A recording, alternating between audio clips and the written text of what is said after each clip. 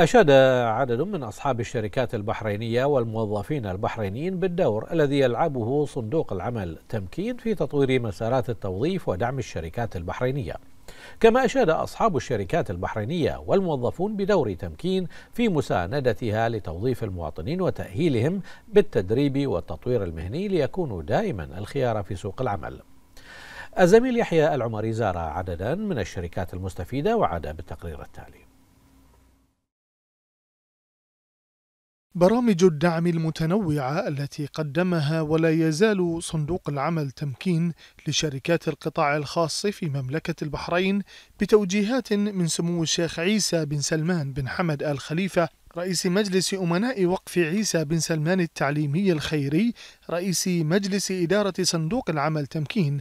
حققت الهدف المنشود منها في إتاحة أكبر قدر من الفرص الوظيفية النوعية أمام المواطن البحريني آه، ساهم التمكين أن الشركات الخاصة صار عندها فرصة أن توظف بحرينيين أكثر لأنه وفرت برامج للدعم. غير هذا الشيء انه حتى في زيادة الأجور هاي البرنامج ساهم أن شركات وايد رفعت أجور البحرينيين. غير هذه الأشياء اللي وفرت فرص في كل شركة وفي كل قطاع عندها موجود إنها تقدر الحين توظف موظفين اللي تحتاجهم من البحرينيين.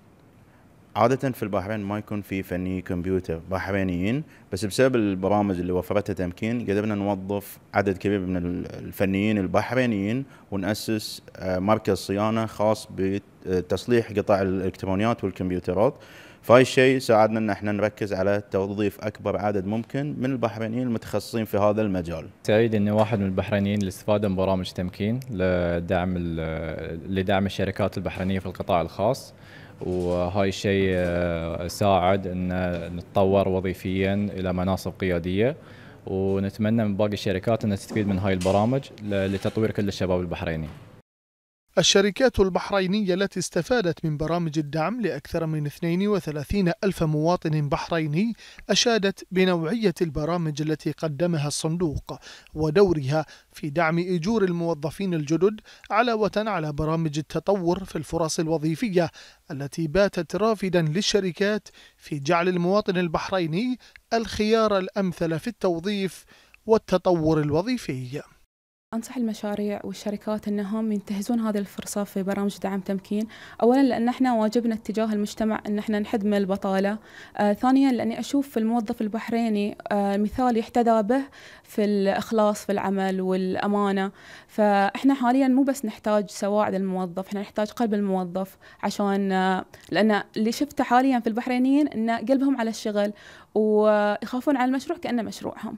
وأحب أشكر تمكين لأن هي من خلال هذه البرامج ساعدتنا أن إحنا نحد من البطالة ونستقطب هذه الفئة من الشباب. طبعا بسبب برامج دعم اللي توفرها تمكين للمؤسسات البحرينية قدرت شركتنا أن توفر أكبر عدد فرص آه، للتوظيف فرص التوظيف البحرينيين آه، ما ساهم أن شركتنا تولي اهتمامها للموظف البحريني ويكون هو الواجهة الرئيسية في الشركة وقدرت إنها تسوي بيئة عمل تخلي الموظف آه، يستخدم المواهب اللي عنده اللي ممكن تناسب مع معطيات العمل عندنا وخلت جميع أقسام الشركة تعمل كعائلة واحدة مع اختلاف جميع الأقسام. يعني ما يهم انت في اي قسم تشتغل لأن كلنا عائلة واحدة.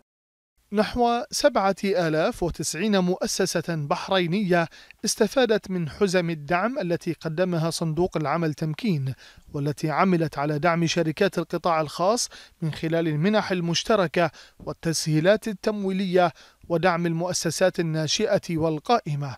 جميعها ساهمت بشكل فاعل في رفض الاقتصاد الوطني لمملكة البحرين.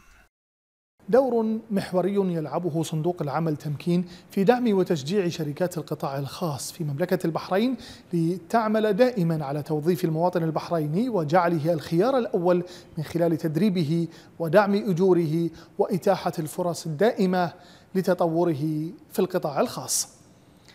يحيى العمري لمركز الأخبار تلفزيون البحرين.